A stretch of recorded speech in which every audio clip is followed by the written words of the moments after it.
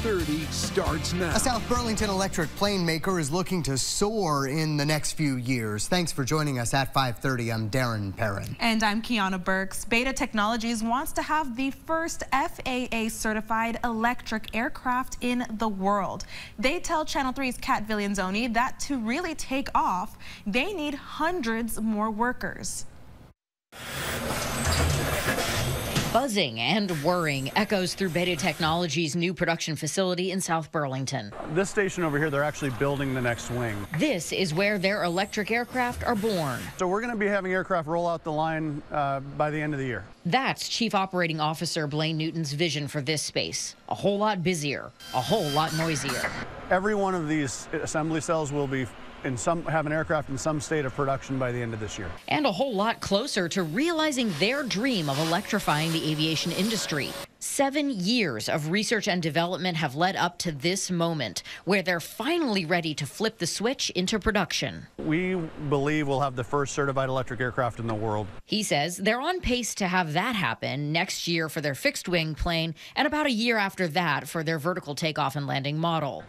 He says because their planes are cheaper to maintain and fuel, there's an insatiable desire for them already. We think we're going to be capacity constrained in this market, not demand constrained.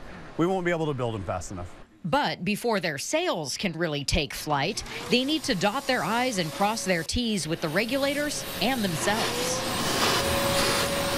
What's interesting is that this wing here isn't even going to go on an aircraft. It's a test version, testing both for the FAA, but also for their manufacturing processes to make them the most efficient they can be, because the goal is to get a lot of planes coming off the line here. We expect an aircraft a day to come off of it, out of this facility uh, when we're at scale, which will, will be over the next several years, and clearly we're going to need a lot of people to help us do that. They don't use a lot of robots, so they need skilled workers to turn out prime planes. Their hiring push starts in earnest next month with a hiring day on April 14th. That's where Willa Clark will be looking for eager employees. Highly motivated, passionate, excited people is what we're looking for. She's grown up in the company, literally. Her father, Kyle Clark, is the co founder. She's been working with them since she was a teenager.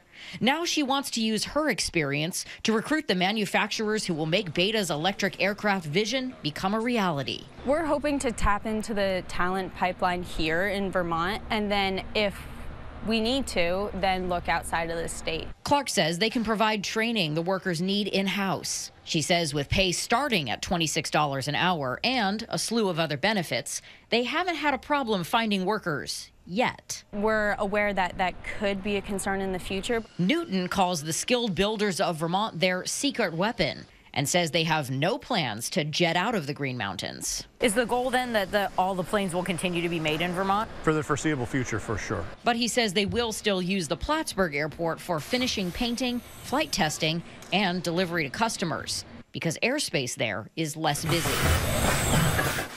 In South Burlington, Cat Viglienzoni, Channel 3 News. Their hiring day is April 14th from 9 a.m. to 4 p.m. at their production facility on Da Vinci Drive in South Burlington. You are required to register in advance. You can do that and learn more about their open jobs on our website, WCAX.com. A push